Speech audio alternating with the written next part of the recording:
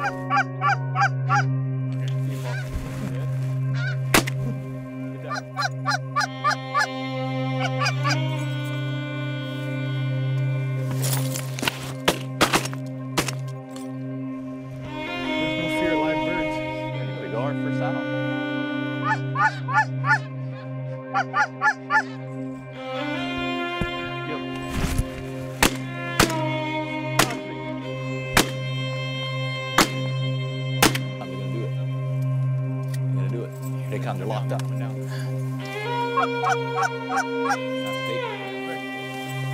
Oh.